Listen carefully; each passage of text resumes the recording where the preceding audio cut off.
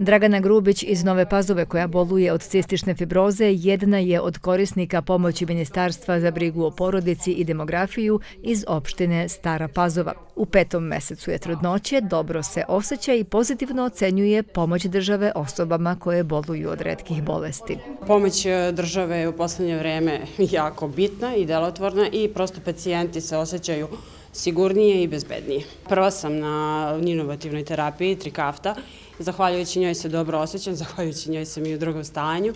Ovo je zaista jako, jako bitna ovaj, stvar i zahvaljujući tome ja sam ovde, pošto ja sam bila životno ugrožena, evo sada sam trudna.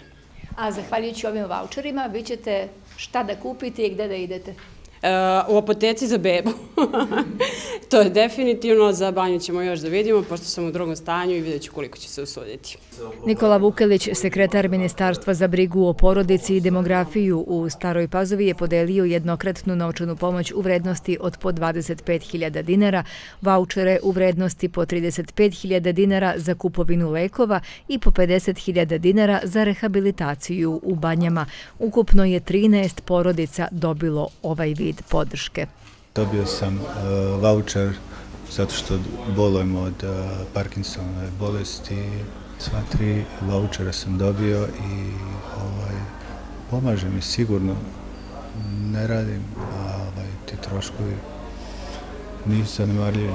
Dobili smo za banju i za lekove i jednokratnu pomoć, tako da znači će nam u svakom slučaju za, za sve. Za koga je to? Za moje dete koje ima e, raste pusne i nepca, redku bolest. Ukupna pomoć države po porodici je 110.000 dinara. U pitanju je pilot projekat Ministarstva za brigu o porodici i demografiju kako bi se materijalno i moralno pomoglo ljudima koji boluju od redkih bolesti.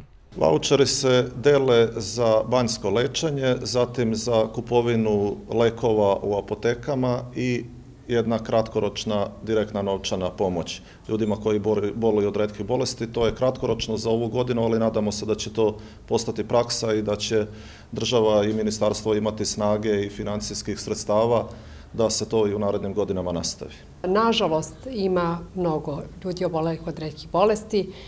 Mi smo danas podelili u Inđi vouchere da je znatno manji broj ali nisu još uvek svi upisani ovaj u bazu, u batutu, tako da očekujemo i dalje dodele tih vouchera. Pojenta je da se ovdje daje podrška porodici, jer porodica je stup društva, a ove porodice kao što i svaka porodica ima probleme, opterećene su jednim dodatnim i velikim problemom. Tako da jeste ova kancelarija osnovana upravo da ljudi imaju mesto gde mogu da se obrate, iznesu svoje probleme, a naš tim će shodno svojim mogućnostima svakoj porodici pružiti podršku i pomoći. U registar redkih bolesti u Srbiji za sada je upisano oko 9000 osoba, a u ministarstvu očekuju zahteve i u narednom periodu i kažu da će nastaviti da brinu brinu i maksimalno pomažu onima koji od njih boluju.